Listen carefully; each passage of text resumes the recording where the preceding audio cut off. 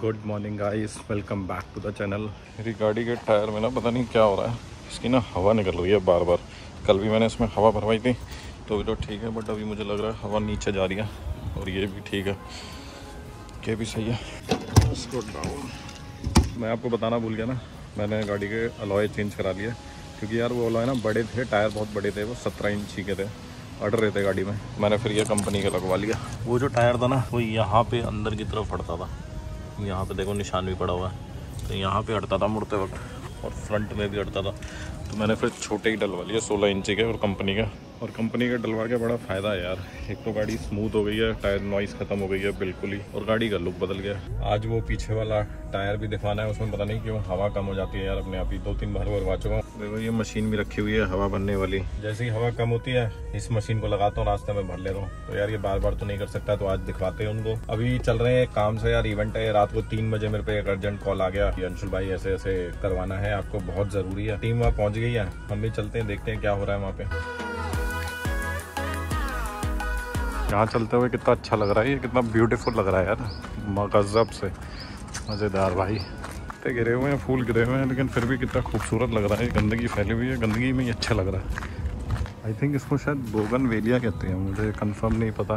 तो हो गया यार इवेंट वाला बंदा, मुझे नहीं पता बट बोगन वेलिया कहते हैं इसको शायद। सुबह सुबह ना यार एक न्यूज़ बड़ी वायरल हुई है नोएडा के लिए स्पेशली नोएडा, दिल्ली, एनसीआर के लिए, कि यहाँ के स्कूल्स में ना बम रखे हुए हैं। तो अभी मेरा काम था स्कूल में ही आया तो मैं यहाँ पे इतनी तगड़ी चेकिंग हो रही है ना मतलब इतना ज़्यादा सिक्योरिटी टाइट कर रखी है मैंने इनसे पूछा, भाई, क्या हो गया? तब इन्होंने मेरे को बताया कि ऐसा ऐसा हमारे पास मेल आई है, हमारे पास धमकी आई है। तो यार, वैसा मतलब क्यों होता है यार? ये बच्चों के साथ में ही क्यों मतलब बच्चों को ही क्यों टारगेट किया जाता है? उस मेल के चक्कर में सिक्योरिटी इतनी टाइट कर रखी है कि हमारी गाड़ी पहुँचने में अंदर काफ़ी टाइम लग गया पूरी एक एक वेरिफिकेशन करी है, सारी चीज़ें करी है, तब जा करके जाने दिया है। पेरेंट्स के लिए तो आप कह सकते हो कि ये एक बड़ा डर का एक माहौल बना हुआ है। यहाँ पे भी वो सब बच्चों को अपने साथ वापस लेकर के जा रहे हैं। आई डोंट थिंक यहाँ पे इवेंट होगा, क्योंकि अगर डीएम साहब का ऑर्डर आ गया तो इवेंट बंद करना पड़ेगा इनको स्कूल और इवेंट रद्द हो जाएगा। बट देखते हैं फिंगर्स क्रॉस्ड क्या होता है, क्या नहीं होता बट अभी तक की जो अपडेट है, किसी भी स्कूल में कुछ नहीं मिला है। ज़्यादातर स्कूलों को खाली कर दिया गया है और कुछ स्कूल हैं जो धीरे धीरे खाली हो रहे हैं। सो अभी चलते हैं विजय भाई के पास। विजय भाई के पास जाना इसलिए ज़रूरी है क्योंकि उनको मैंने पुंटो दे रखी है। पुंटो का यार पता नहीं क्या हो रहा है। एसी कभी चल रहा है, कभी बंद हो रहा है, कभी चल रहा है, कभी बंद हो रहा है। कल से उनको दे रखी है, लेकिन उनको समझ ही नहीं आ रहा है कि इसके अंदर हुआ क्या है। चलते हैं विजय भाई के पास, देखते हैं क्या हुआ है उसमें, क्या पता चला है या नहीं पता चला है। लेट्स सी इस पुल पे ना अभी कंस्ट्रक्शन चालू थी। कंस्ट्रक्शन का सेंस मतलब रोड बन रही थी। अब रोड बन चुकी है, पर अभी भी थोड़ा बहुत काम बाकी है। बैरिगेटिंग कर रखी है, पर यहाँ ट्रैफ़िक लग जाता है ऊपर यार, इसलिए हम तो नीचे से ही चलते हैं। और वैसे भी विजय भाई के पास जाने का रास्ता नीचे से ही है। ये खड़ी हमारी धनो ये खड़ी हमारी धनो देखते हैं क्या हुआ इस धनो में। लेट सी क्या दिक्कत है इसमें। ये हो गई है सेट इसमें कुछ इलेक्ट्रिकल प्रॉब्लम थी, वो कर दी। वो विजय भाई ने कर दी है सेट तो अभी तो चलते हैं घर। लेंगे इसको थोड़ी देर में वापस आके। विजय भाई कह तो रहे हैं, कर दी है मैंने सेट टेस्ट भी कर ली है गाड़ी। अब तो सही चल रही है। एसी भी टनाटन काम कर रहा है। इतना काम कर रहा है कि ठंड लगा दे रहा है, बंद करना पड़ रहा है। तो अभी तो घर चल रहे हैं। घर भी क्या चल रहे हैं? पहले हम चलते हैं टायर दिखाने के लिए।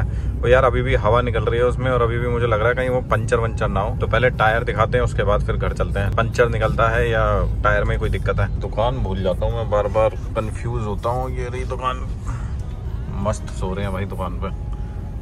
अभी मारता हूँ टक्कर इनके मैं। मशीन लेके घूम रहा हूँ देख रहा है देख लो ये देख। ये देख रखी मशीन। भाई ये कील कैसे लग गई इसमें? तूने लगाई है ना? तूने लगाई ना कील अभी? तूने लगाई है ना कील अभी? कलाकारी देखते हैं। तुम निकाल लोगे इसमें से कील? टायर की ऐसी मत कर दियो भाई। ये कितनी बड़ी कीला है? ये तो कील नहीं कीला है ये तो। भाई साहब।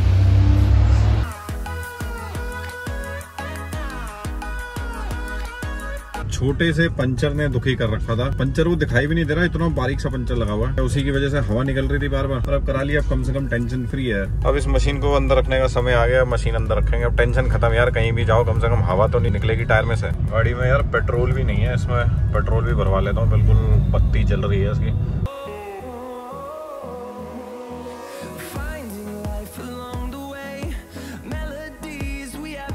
आधे टैंक से थोड़ा सा रह गया, बस नहीं तो आधी टंकी हो जाती पूरी। मैं पेट्रोल ना कभी भी भरवाता हूँ तो ऐसे उठ पटांग अंकों में डलवाता हूँ। मतलब मैं कभी भी चौदह सौ, पंद्रह सौ, हज़ार, पाँच सौ का ऐसा नहीं डलवाता। जो भी मेरे मन में फिगर आती है, इतने की डाल दे, इतने का डाल दे। जैसे आज मेरे मन में फिगर आई, तेरह सौ चालीस का डाल दे। तो भाई ने तेरह सौ चालीस का डाल दिया। ऐसा मैं इसलिए करता हूँ मतलब ये मेरा पर्सनल है, क्योंकि मुझे ऐसा लगता है कि अगर ये सेट भी करते होंगे तो ये मशीन नंबर किसी पर्टिकुलर नंबरों पे सेट करते होंगे। हालाँकि इस पेट्रोल पंप वाले नहीं करते हैं बट मेरी आदत में अब आ चुका है ऐसा। मैं जब भी पेट्रोल भराता हूँ, हमेशा मेरे मन में जो भी अमाउंट आती है मतलब जो भी फिगर आती है, मैं वो फिगर बोल देता हूँ कि भाई इतने का पेट्रोल डाल दे। एक बार तो मैंने नौ सौ निन्यानवे रुपए का पेट्रोल डलवा लिया। मैंने कहा ट्रिपल नाइन का पेट्रोल डाल दे भाई। इस रास्ते से मैं आज कितने दिनों के बाद आ रहा हूँ यहाँ पे। यहाँ से पुरानी यादें मेरी ताज़ा हो रही है। यहीं पे मेरा जिम होता था, ये वाला मेरा जिम था, ये वाला था या आगे वाला था? हाँ यही वाला था। यहाँ से हम नीचे जाते थे जिम में। अब तो खैर बंद हो गया है जिम इन गलियों में मैं घूमता था यार पैदल। ये यहाँ पे मेरे दोस्त रहते थे सोसाइटी में। यहाँ पे एक मेरा फ्रेंड रहता था शिफ्ट हो गया वो ग्रेटर नोएडा यहाँ हम पैदल पैदल घूमते थे मतलब घर के पास में ही है बट मज़ा आता था यहाँ पे यार। पुरानी यादें आज ताज़ा हो गई इस रोड पे आके। मीटर में जो ये एवरेज दिखा रहा है बट ये हकीकत में इससे ज़्यादा एवरेज दे रही है गाड़ी। पता नहीं क्यों इतना कमी दिखाती रहती है। टेंशन में डालती रहती है। मुझे अभी रेंज दिखा रही है इकसठ किलोमीटर। पेट्रोल डला दिया चौदह सौ रुपए का। भाई, अभी तो सही हो जा। अब तो कम से कम डेढ़ सौ किलोमीटर दिखा दे। हमारे सेक्टर में ये नए नए स्ट्रीट लाइट्स लग रही है। काम चल रहा है इसका बड़ा धड़ल्ले से। बड़ी सुंदर लगेगी ये लगने के बाद। देखो, ये फॉरन वाला लुक दे रहे हैं पूरा का पूरा। सोसाइटी में भी साफ़ सफ़ाई बढ़िया रहती है, बिल्कुल चमक रही है सड़कें, बिल्कुल। गाड़ी भी बड़ी गंदी हो रही है यार, ये पत्ते वत्ते पड़े हुए हैं सारे, पेड़ में से ना कुछ ना कुछ गिरता रहता है और ये निशान लगते रहते हैं इसके ऊपर, ये देख रहे हो। ये चिपके वाले निशान हो जाते हैं ये। जितना मर्ज़ी कपड़ा मार लो इन पे लेकिन ये दाग हटता नहीं है। सोच रहा हूँ कल गाड़ी साफ़ कर दूँ टायर वायर सब चमका के खड़ी कर दूँ। बारिश बहुत दिनों से नहीं आई है कल साफ़ करूँगा तो बारिश आ जाएगी इसमें। मेरे साथ हमेशा होता है मैं जब भी गाड़ी साफ़ करता हूँ ना गाड़ी साफ़ करते ही बारिश आ जाती है। तो बहुत दिनों से बारिश आ नहीं रही है। सोच रहा हूँ साफ़ कर दूँ बारिश आ जाएगी थोड़ी राहत मिलेगी हम सबको। A few moments later. Time हो रहा है शाम के छः बज के बीस मिनट सॉरी छः बज के दस मिनट। मैं यार कुछ पर्स भूल गया था अपना। पर्स ले रहे हैं, चलते हैं। अब बताओ यार, ये आदमी इधर गाड़ी लगा गया, ये आदमी इधर गाड़ी लगा गया। अब ये इतनी सी जगह में से गाड़ी में कैसे निकालूँगा? कितने समझदार लोग हैं यार यहाँ पे। ये है विजय भाई की। विजय भाई को ये वापस देते हैं और अपनी लेके आते हैं। देखते हैं इतनी सी जगह से निकल पाती है या नहीं। देखो, इसमें सिर्फ़ इतनी सी जगह बची है और वहाँ से बिल्कुल चिपकी पड़ी है। टेढ़ी करके निकाल रहा हूँ गाड़ी।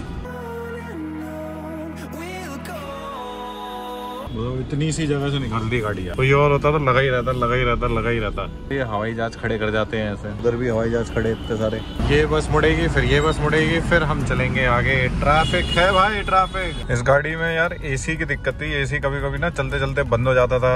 कभी चलता था कभी नहीं चलता था पता नहीं क्या ही हो रहा था। मैंने कई लोगों को दिखाया एसी वाले को भी दिखाया गाड़ी के। वो कह रहा भैया इसका ये खराब हो गया इसका वो खराब हो गया। इसमें ये चीज़ चेंज होगी। कह रहे ये कंसोल खराब हो गया ये चीज़ चेंज होगा। पता नहीं क्या क्या सबने अपने अपने गणित लगा लिया है। मैंने फिर जो हमारे विजय भाई हैं, पुराने, सबसे यकीन मंद इनमें आँख बंद करके भरोसा कर सकते हैं, उनको दिखाया। मात्र पाँच सौ रुपये लगे हैं। गाड़ी में सिर्फ़ और सिर्फ़ एक इलेक्ट्रिशियन का काम था इलेक्ट्रिक पार्ट एक था छोटा सा। आगे फ्यूज बॉक्स होता है, उसमें से गड़बड़ थी इस वजह से एसी कभी करंट पकड़ रहा था, कभी नहीं पकड़ रहा था, और उस चक्कर में ये काम हो रहा था। अब बताओ, छोटे से करंट के चक्कर में इतनी सारी गड़बड़ हो रही थी, और जिनको मैंने दिखाया कह रहे भैया एसी का ये खुल जाएगा, आपका कूलिंग कॉइल खुल जाएगी कंप्रेसर खराब है कंप्रेसर चेंज होगा कंप्रेसर खराब हो गया है। बताओ भगवान, यार क्या क्या बता देते हैं लोग? मतलब एक अच्छा जेनविन मकैनिक मार्केट में ढूंढना बहुत मुश्किल है यार।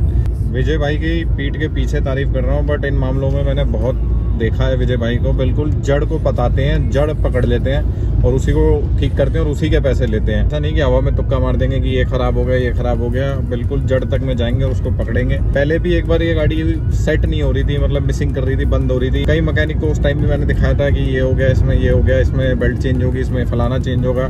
विजय भाई को दिखाया, उस टाइम भी उन्होंने सात सौ, आठ सौ रुपए लिए थे पार्क प्लग में और कहीं छोटी मोटी एक दो कमियाँ वो इन्होंने ठीक करी, उसके बाद गाड़ी सेट हो गई बिल्कुल। हेड्स ऑफ़ है यार विजय भाई को। मेरे को तो इतना ट्रस्ट हो गया उनके ऊपर, मैं मतलब अब तो मैं कहीं और जाने वाला हूँ ही नहीं।